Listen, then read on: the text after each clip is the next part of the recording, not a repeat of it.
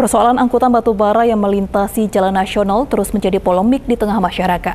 Terkait hal ini, Ketua GP Ansor Batanghari berharap adanya ketegasan Gubernur Jambi untuk mengambil langkah konkret agar pengusaha batu bara membuat jalan khusus untuk operasional angkutan batu bara. Hancurnya jalan nasional dan kemacetan yang tak kunjung teratasi akibat tingginya mobilitas kendaraan operasional angkutan batu bara terus menjadi polemik di tengah warga Batanghari. Pasca pembahasan DPR RI Komisi 5 yang menekan perusahaan tambang untuk membuat jalur khusus dan tidak melintasi jalan nasional. Bahkan Dirjen Bina Marga PUPR Republik Indonesia juga menyatakan akan memperbaiki jalan nasional bila angkutan batu bara dapat ditertibkan. Polemik angkutan batu bara terus menjadi momok di tengah warga Batanghari. Terkait hal ini, Ketua GP Ansor Batanghari, Okta F. Yuma, mengecam Gubernur Jambi yang terkesan memelihara konflik tanpa solusi. Okta harap gubernur dapat segera mengambil langkah untuk penyelesaian persoalan ini.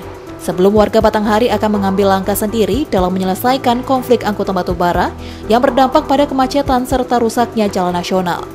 Tapi Ansor Batanghari mengecam sikap gubernur yang uh, sedang merawat konflik ini agar penyelesaiannya kami anggap lambat. Oleh karena itu, hari ini GP Ansor Batanghari sedang melakukan konsolidasi penolakan terhadap armada batubara yang tetap hari sampai hari ini melintas di uh, jalan nasional armada pengang, pengangkut batubara. Hmm. Bukan aksi, yang aksi ini jelas kami pertama menolak angkutan armada batubara ini melintas di jalan yang kami anggap aturannya jelas. Ini kalau gubernur tidak membawa persoalan ini ke pusat untuk mengadu kepada presiden, akhirnya ya persoalan ini akan diambil alih oleh masyarakat Nah, konsolidasi ini yang sedang dilakukan oleh GP Ansor. Hmm. Tapi kami tetap berharap jangan sampai polemik ini, persoalan ini diambil masyarakat karena nanti sulit untuk dikontrol. Saat ini Okta menjelaskan bahwa pihaknya sedang melakukan konsolidasi bersama untuk menekan Gubernur Jambi Al Haris agar dapat segera mengambil langkah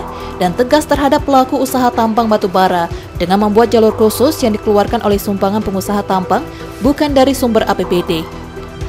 Dijelaskannya dari beberapa organisasi di Kabupaten Batanghari, saat ini sedang merancang untuk mencegah berlanjutnya aktivitas angkutan batu bara melintasi jalan nasional. Selamat Riyadi, Cek TV, melaporkan.